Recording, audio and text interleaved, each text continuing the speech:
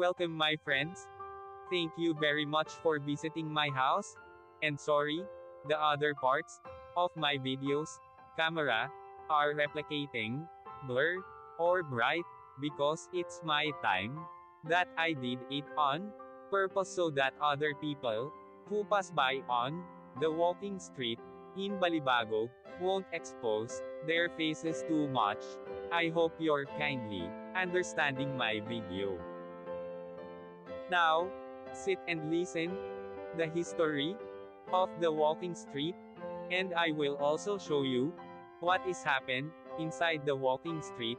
If you have been here, please watching the beautiful sight at the walking street Fields Avenue, Balibago, Angeles City.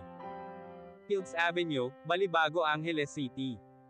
Fields Avenue is the name of a major street running through Balibago, area of Angeles City, in the Philippines. It is the center of the red light district and the bar scene of the biggest entertainment district of the Philippines. Fields Avenue in Balibago, Angeles City.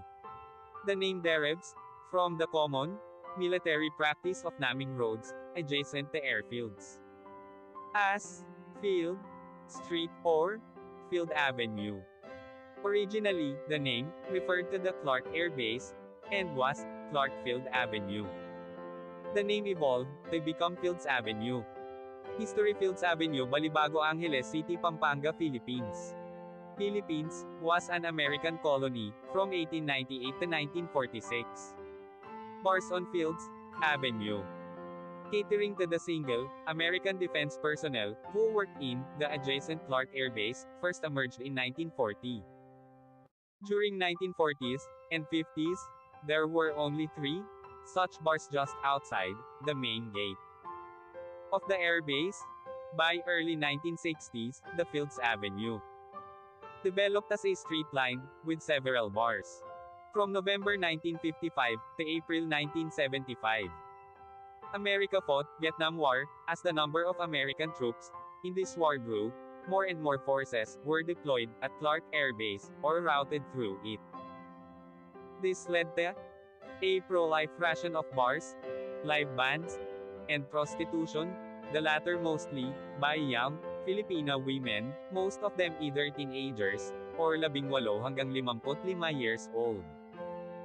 By the 1970s, there were more than 150 bars and prostitution joints along Fields Avenue. This led to a mushrooming of related ancillary industries in the vicinity, namely music bands, hotels, doctors, hairdressers, and money exchange transfer services. In its heyday, Fields Avenue provided direct or direct employment to nearly 20,000 Filipinos, including plumbers, electricians, and security guards. In the 1980s, though the American presence remained steady, the bars and prostitution shops continued the pro-life rate. Many bars and prostitution dens were owned by Americans, as well as local politicians, thus leading to a nexus between the locals, politicians, and American military and ex-military personnel. With the withdrawal of American Defense Forces from Clark in 1993, many of these establishments changed hands, but continued to do business. As Clark was turned into a special economic zone, SEZ, these bars and prostitution joints changed their clientele to suit their new customers Japanese and Korean businessmen. Restaurants serving food from these countries began to appear, and signboards in these languages were put up. The period from 2000 hanggang 2010 saw further expansion of these joints as the area was relabeled as an entertainment district. While prostitution was officially banned, girls working here were simply redesignated as guest relations officers GRO and prostitution continued in practice. Since then, bars and prostitution joints have continued to proliferate and expand, the extent of these establishments has continued further on both sides of Fields Avenue, and many smaller streets of Fields Avenue also sport smaller such establishments. In 2010, a section of Fields Avenue, at the end where it meets the MacArthur Highway was named as Walking Street, Mimicking Walking Street in Pattaya. This section was made, pedestrians only, with road traffic ban, from 6 p.m. to 6 a.m. People arriving by air, either take a taxi, direct to hotel, or a jeepney, to Main Gate Jeepney Terminal, located between the North SM Mall, Fields Avenue to South, and Bayanihan Park to East.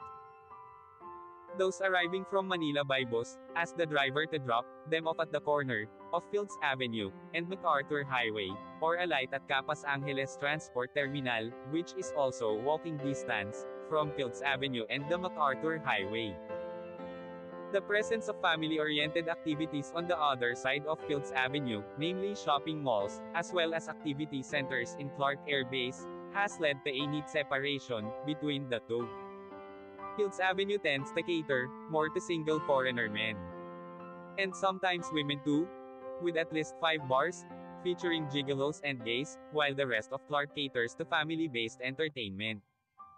Fields Avenue remains among the safest streets in the region, with restaurants and hotels.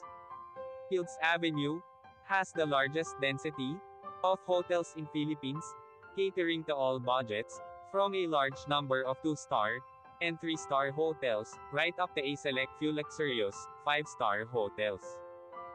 Many of the bars and hotels in Fields Avenue have restaurants attached. Fields Avenue has among the largest variety of restaurants in Philippines, with cuisines ranging from European, continental, Japanese, Korean, Australian and a select few restaurants, serving Indian, Arabic, and Filipino food. Restaurants tend to have long opening hours, most of them open late and close late, up to 4 a.m., though a reasonably number of them open early, around 7 a.m. A few restaurants are open 24 hours. Most Filipino and international fast food chains including McDonald's, KFC, and Jollibee have at least one branch along or near Fields Avenue. 24 Hours Police Station is located in the center of Fields Avenue. Thank you so much. See you my next video.